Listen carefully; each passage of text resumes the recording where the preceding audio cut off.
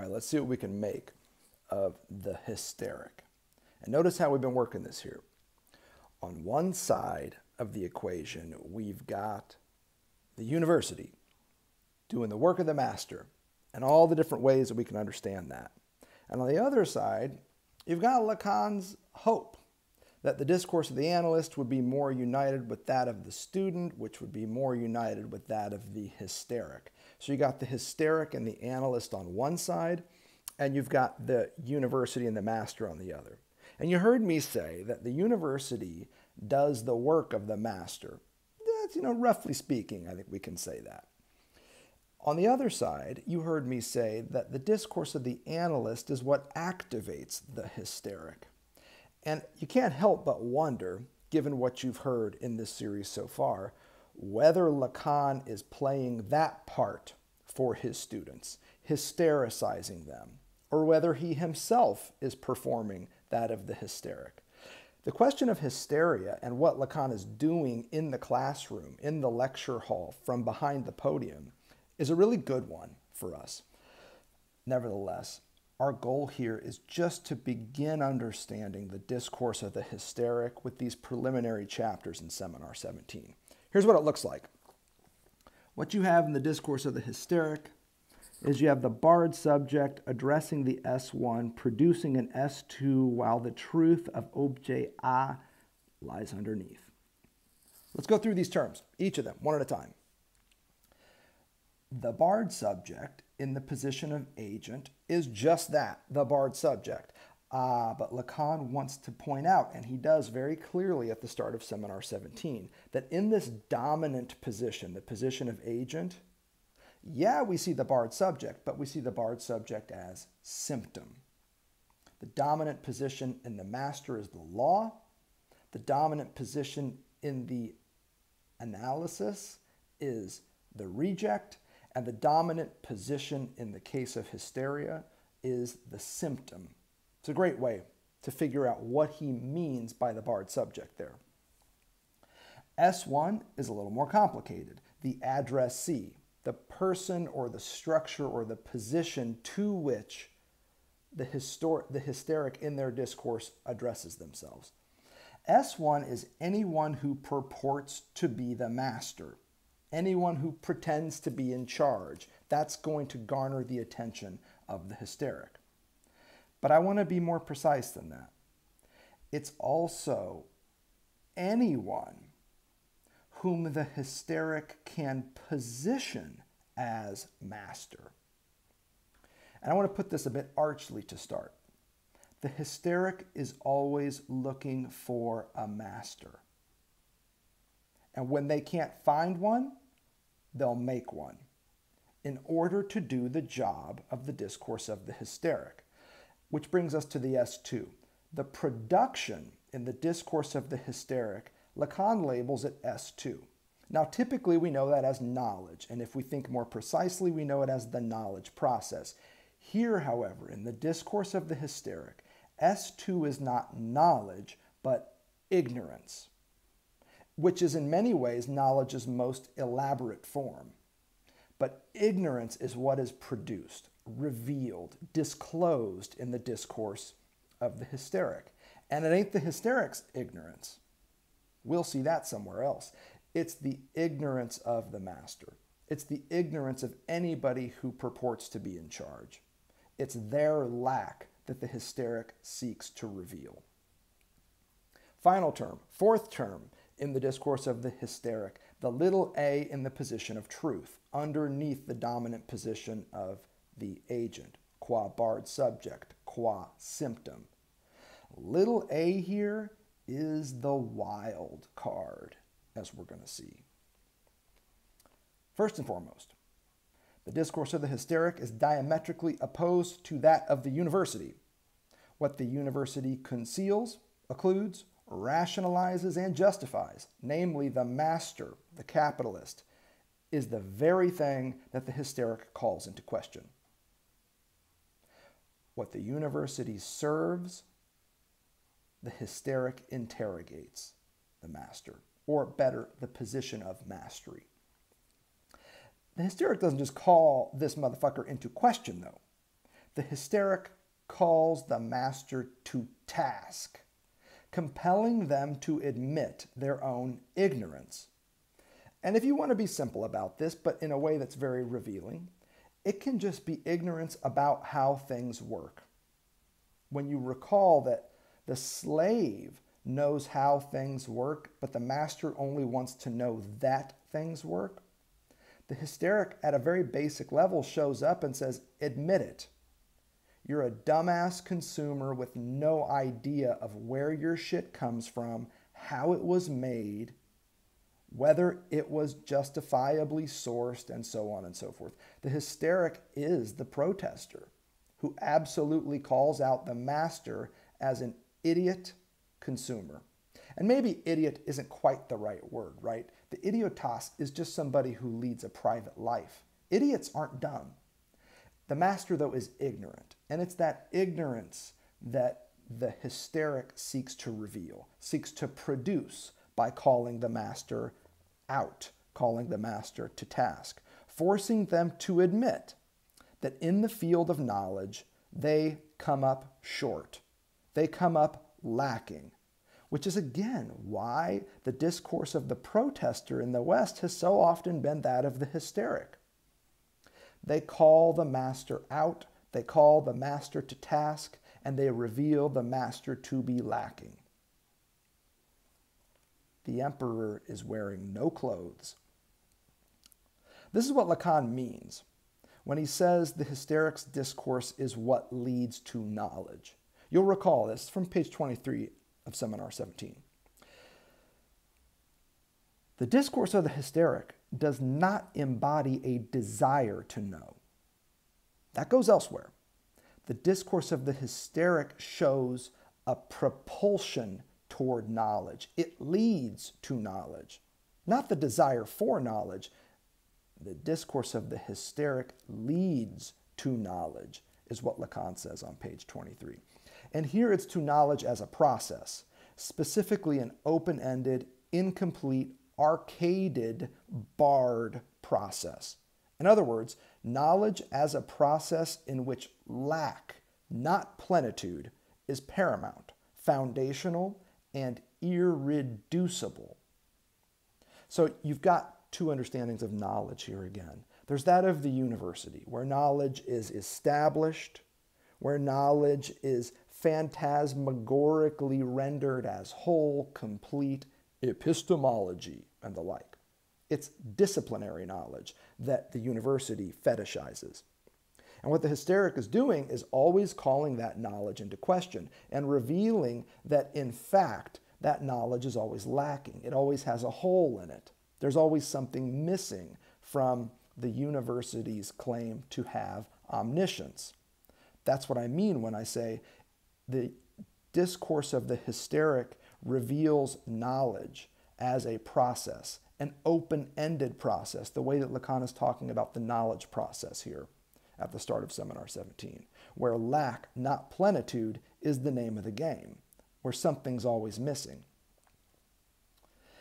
I think this is why Bruce Fink's reading of the later Lacan's return to hysteria is correct, by the way. True scientific discourse, as discourse that is always at and about the limits of what we know, is fundamentally that of the hysteric. This is how Bruce reads the later Lacan's return to the discourse of the hysteric, is that it's properly scientific discourse, radically scientific discourse, which is different from the discourse of the university. If the university traffics in epistemological fantasies of certainty, self identity, and completion, the hysteric reveals all of these as just that fantasies. It's uncertainty and incompletion, not their phantasmatic opposites, that characterizes true scientific inquiry as part and parcel of the knowledge process. So that's really crucial here. On the side of knowledge, in a traditional closed understanding, you have the discourse of the university. On the side of knowledge, though, as a process that is open ended and always up-ended, that is always chomping at a limit, knowledge that is truly inquisitive, curious, knowledge that is always at some basic level ignorant, which is why, again, you want to find that university professor that can say those three magic words I don't know. Because it's those magic words that make the life of the mind worth living. The problem is that the university discourse never says those magic words. It always has an answer to every question the students pose, or at least it performs that knowledge. On the other side, though, you've got the discourse of the hysteric that undermines that knowledge, that points to the hollow around which it is structured, its constitutive lack or ignorance or blind spot. Not as a problem, but as an opportunity structure, as an opportunity structure for something that is truly and radically scientific, a form of inquiry in which knowledge is revealed to be a process. And that ain't a problem. That, in fact, is the solution. But let me be a little more precise. Fuck united theories of everything. This is what hysterics say and do. Yet another reason why Lacan ends his previous seminar, Seminar 16, on the topic of set theory. Notably, the mathematical fact that every set, no matter how complete, no matter how full, contains the empty set, and there can only ever be one. The set in which nothing appears. The set that marks a place of lack, the place of lack in any given system.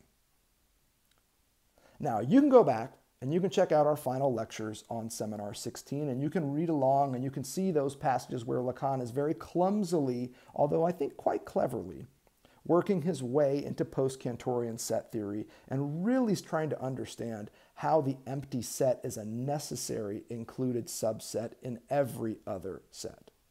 It's math, it's set theory, but it's there for you if you want it. Why do that though?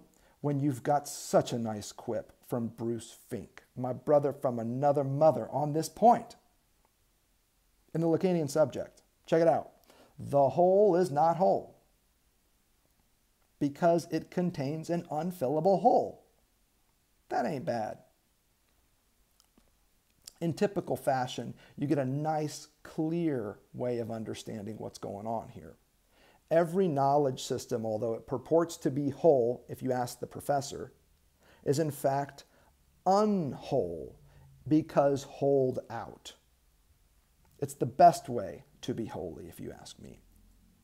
Nevertheless, I want to admit this is about as far as I go with Fink's reading of the hysterics discourse. And for me, the issue arises around what Bruce says is its truth that wild card, that objet a in the position of truth. Fink identifies this little a with the real, which makes good sense when we recall Lacan's designation of objet a as the reject at the start of seminar 17, and his association, don't forget, of objet a with the empty set at the end of seminar 16. So I'm not calling bullshit here. I just want to give the screw one more turn.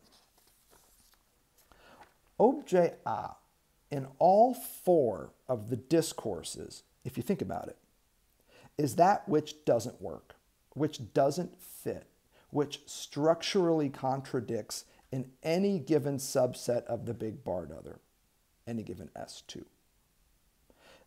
It's tempting. It makes a lot of sense as the real. The hysterics discourse leads to knowledge as a process because, as Bruce puts it, its hidden motor force, he's talking about the truth here, this objet ah, beneath the dominant position of the symptom of the barred subject, is a real reject, a site of this impossible void around which every S2 is structured. I think that makes a lot of sense. And you could do worse than to stop there and have some pretty good insight into how that wild card operates in the discourse of the hysteric as a real reject. But I want to take this idea of rejection, real rejection, and maybe refer to it something a little differently, maybe like a real withholding or a withholding of the real. Let's think about this for a second. I think you could stop here and be good. You can just hit pause and move on. But I think we could also go a little bit further than this. More than knowledge or its incompletion, what the hysteric enjoys, if we can say that, is feeling like they are the missing part in any given system. The one thing that, if only the hysteric would allow it, and they won't, would allow for the system's completion. That is the objet in the position of truth. For this reason alone, I'm tempted to locate hysteria as a clinical structure midway between obsessional neurosis and perversion. And honestly, way more inclined toward the latter than the former. The hysteric, think about this, like the pervert, believes that the big other can be made to exist. Here's that part that I'm alluding to around the S1.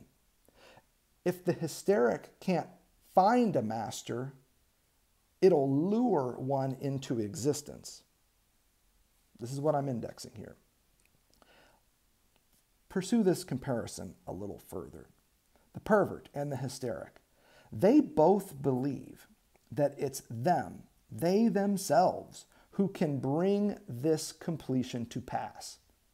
They both believe that they're the ones who can make the big barred other whole, that can make the big other exist, as Lacan puts it in Seminar 16.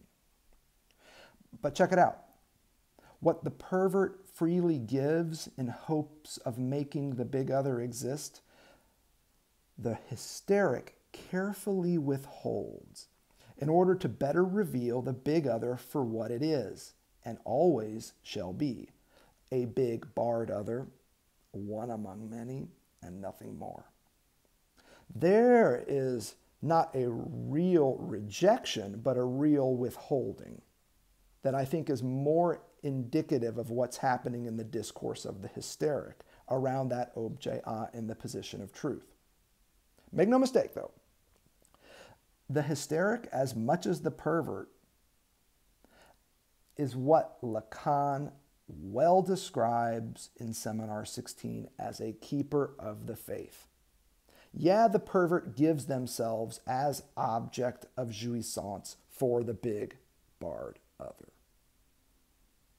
Yeah, the hysteric knows or fantasizes themselves as the thing that if she were to give herself to the big barred other like that would bring it jouissance.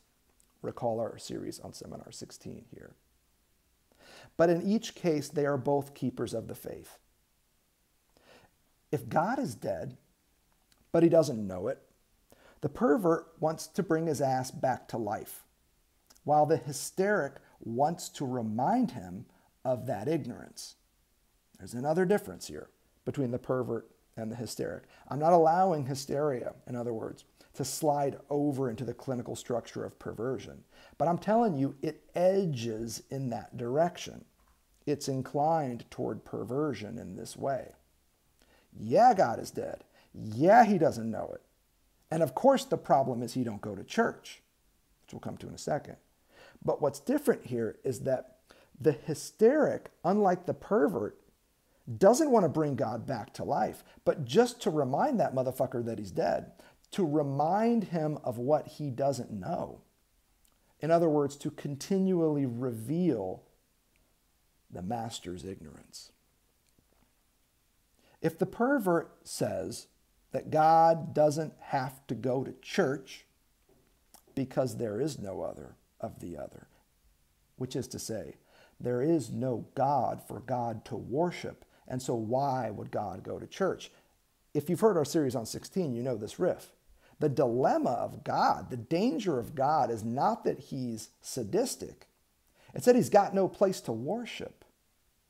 When Lacan says there is no big other of the big other, if the big other is going to exist, that leaves God in a real bind because he can't go to church. He can't worship. He can't do the very thing that the big other is always asking us to do to subjugate and subjectify before them.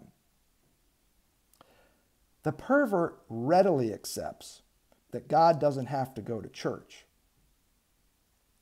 because there is no big other of the big other that the pervert seeks to establish. But the hysteric, let's be clear, insists on taking God to school instead if only so that God can learn, but not from professors, mind you, that the other doesn't even exist in the first place. That's where we land with the discourse of the hysteric, at least for now, as a preliminary opening move on the topic.